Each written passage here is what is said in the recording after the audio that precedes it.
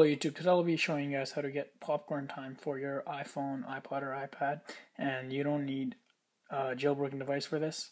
So all you have to do is go into the settings first, go to General, and go to Date and Time, change set automatically, change it to September 1st.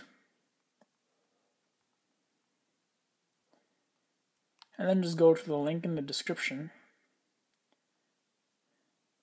and press this. Press install. Should be installing now.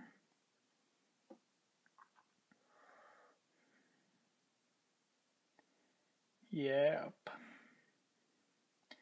Alright, so once this is done installing, just press it. Press trust. And I believe that Popcorn Time, the servers, they're not running right now due to some technical difficulties, I believe. So right now I can't show you it working, but in the near future it should be working. So in the meantime, I'm just using MovieBox. So once you have that installed, just go back to your settings, date and time, and change it to set automatically. And that's basically it. Please subscribe, like, and comment.